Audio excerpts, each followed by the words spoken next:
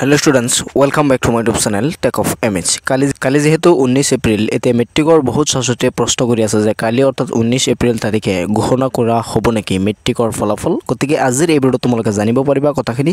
লগতে মুখ্যমন্ত্ৰী ডাঙৰীয়াই কি জনাইছে তোমালোকক জনাবলৈ চেষ্টা কৰিম এই ভিডিঅ'টোৰ জৰিয়তে। ভিডিঅ'টো সম্পূৰ্ণৰূপে চাবা চেনেলত প্ৰথমবাৰ চেনেলটো ছাবস্ক্ৰাইব কৰি ৰাখিবা পৰৱৰ্তী ভিডিঅ'সমূহৰ ন'টিফিকেশ্যন পাবলৈ। ছাত্ৰ ছাত্ৰীসকল তোমালোকে বহুতেই জানা যে মুখ্যমন্ত্ৰী ডাঙৰীয়াই ঘোষণা কৰিছিল যে ঊনৈছ বিছ আৰু একৈছ এই তিনিটা দিনৰ ভিতৰত যিকোনো এটা দিনত মেট্ৰিকৰ ফলাফল ঘোষণা হ'ব পাৰে।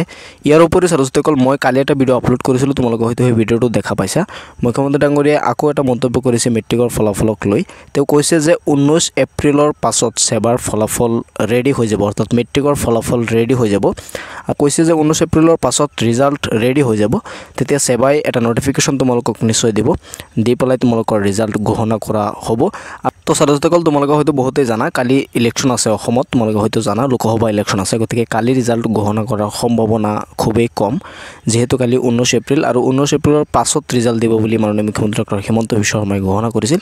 গতিকে তোমালোকে ইয়াৰ পৰা এটা ধাৰণা কৰিব পাৰা কালি ৰিজাল্ট ৰিজাল্ট দিয়াৰ সম্ভাৱনা একেবাৰেই কম যিহেতু প্ৰথম পৰ্যায়ৰ ইলেকশ্যন কালি অনুষ্ঠিত হ'ব। গতিকে ইলেকশ্যনৰ দিনত তোমালোকৰ ৰিজাল্ট নিদিয়ে আৰু আৰু মাননীয় মুখ্যমন্ত্ৰী ডক্টৰ হিমন্ত বিশ্ব শৰ্মাই মন্তব্য কৰিছিল যে ঊনৈছ এপ্ৰিলৰ পাছতহে এবাৰ মেট্ৰিকৰ ফলাফল ৰেডি হ'ব। ঊনৈছ এপ্ৰিলৰ পাছতে তোমালোকৰ ৰিজাল্ট দিব। ঊনৈছ তাৰিখে ৰিজাল্ট দিয়াৰ সম্ভাৱনা একেবাৰে কম থাকে।